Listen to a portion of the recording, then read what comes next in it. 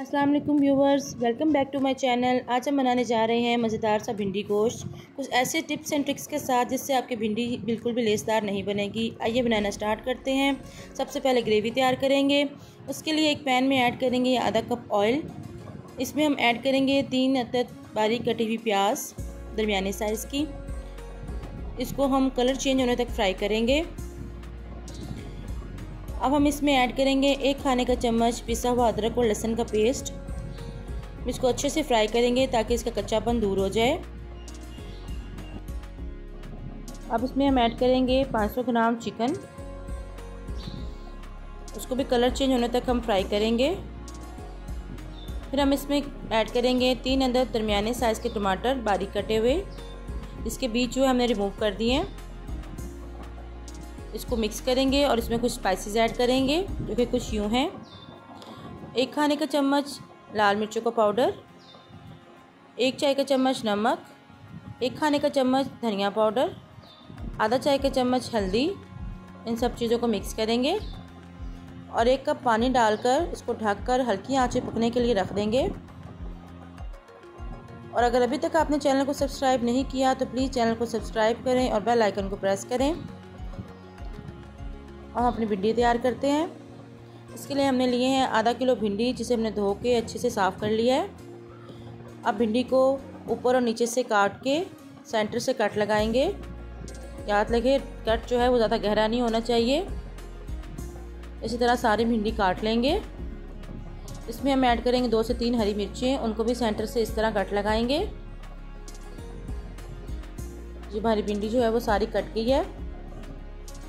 अब हम इसका मसाला तैयार करते हैं।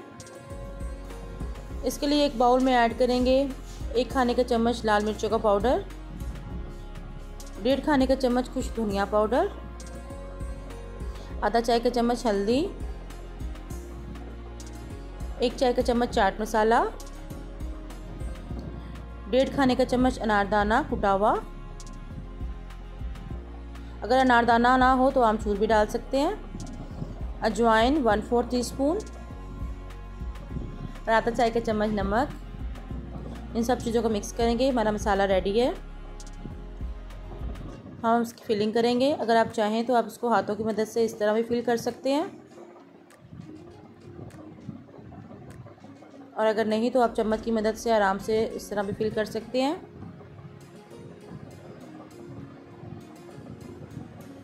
जैसे आपको पसंद हो। जी, हमारी सारी भिंडी जो है हम इसी तरह भर लेंगे। बल्कि मिर्च में मसाला भर देंगे, भिंडी हमारी रेडी है। और अपनी ग्रेवी की तरफ़ चलते हैं। हमारी ग्रेवी जो है वो भी तकरीबन रेडी हो चुकी है, क्योंकि चिकन हमारा गल गया है। और जो वेजिटेबल्स थी इसकी वो भी गल गई हैं, अब हम इसे भूनेंगे। तो पानी खुश करेंगे और इसको अच्छे से भून लेंगे। इसका पानी खुश्क हो गया। अब हम इसमें ऐड करेंगे तीन हरी मिर्चें, जिन्हें हमने साइड से कट लगाया। है एक मिनट तक चम्मच चलाएँगे। और हमारी ग्रेवी जो है वो बिल्कुल रेडी हो चुकी है। दूसरी तरफ़ हमने भिंडी फ्राई होने के लिए रख दी है। एक पैन में ऐड किया है वन फोर्थ कप ऑयल और उसमें हमने भिंडी डालेंगे।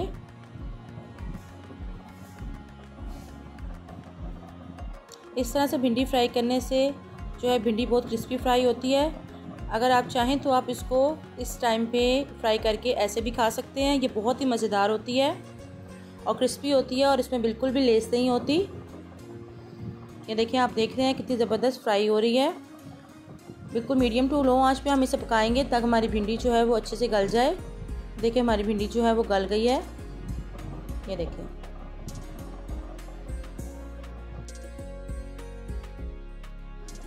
अब हम भिंडी को अपनी ग्रेवी में ऐड करेंगे और इसको अच्छे से मिक्स करेंगे। बाज़ लोगों की शिकायत होती है कि भिंडी जो है वो बहुत ज़्यादा लेसदार बनी है और गीली गीली सी बनी है। आप जब भिंडी बाज़ार से लेके आएँ तो उसको अच्छे से धो के किसी खुश कपड़े से साफ़ करें या पंखा, पंखे के नीचे खुश कर लें उसको और फिर उसको काटें तो भिंडी कभी भी आपकी लेसदार नहीं बनेगी। अब हम इसमें ऐड करेंगे एक खाने का चम्मच कसूरी मेथी। और इसको अच्छे से मिक्स करेंगे। जी, हमारा मज़ेदार सा भिंडी गोश्त बिल्कुल तैयार है। अगर आपको रेसिपी अच्छी लगी हो तो प्लीज़ लाइक करें शेयर करें। चैनल पे नए हैं तो प्लीज़ सब्सक्राइब करें और बेल आइकन को प्रेस करना ना भूलिएगा। इससे आपको मेरी हर नई आने वाली वीडियो सबसे पहले देखने को मिलेगी। फिर मिलते हैं नई रेसिपी के साथ। दुआ में याद रखिएगा। अल्लाह हाफिज़।